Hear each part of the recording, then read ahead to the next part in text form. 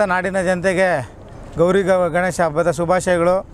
ಹಾಗೂ ಅದೇ ರೀತಿ ಈ ಮುಳುಬಾಗಿಲಿನ ಜನತೆಗೆ ಗೌರಿ ಗಣೇಶ ಹಬ್ಬದ ಶುಭಾಶಯಗಳನ್ನು ಕೋರ್ತೇನೆ.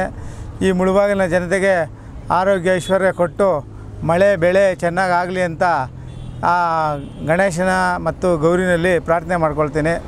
ಮತ್ತೊಮ್ಮೆ ನಾಡಿನ ಜನತೆಗೆ ಗೌರಿ ಗಣೇಶದ ಹಬ್ಬ ಹಬ್ಬದ ಶುಭಾಶಯಗಳು ಮತ್ತು ಮುಳುಬಾಗಿಲು ಜನತೆಗೂ ನಾ, ಗೌರಿ ಗಣೇಶದ ಹಬ್ಬದ ಶುಭಾಶಯಗಳು.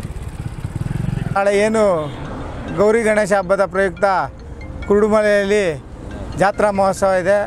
ಆ ಗಣೇಶನ ಜಾತ್ರೆ ಕುರುಡುಮಲೆಯಲ್ಲಿ ವಿಜೃಂಭಣೆಯಿಂದ ನಡೀಲಿ.